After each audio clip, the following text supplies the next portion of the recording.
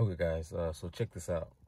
If you're having problems with your iDrive, um, like Bluetooth connections or just there's a glitch somewhere within your iDrive, you can, um, there's a way around it.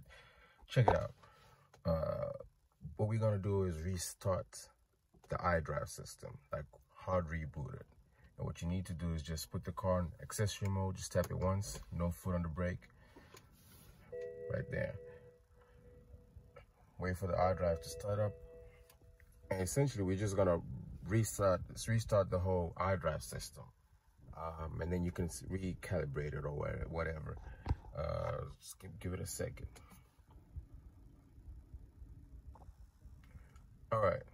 So when everything is, is, is back up, what you want to do is uh, hold down the power button or the volume knob for about 30 seconds between 20 to 25 seconds and it should restart.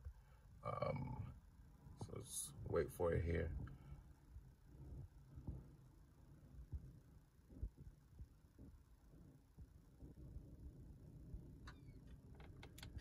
See now that's uh, how it just rebooted. So it's now starting again.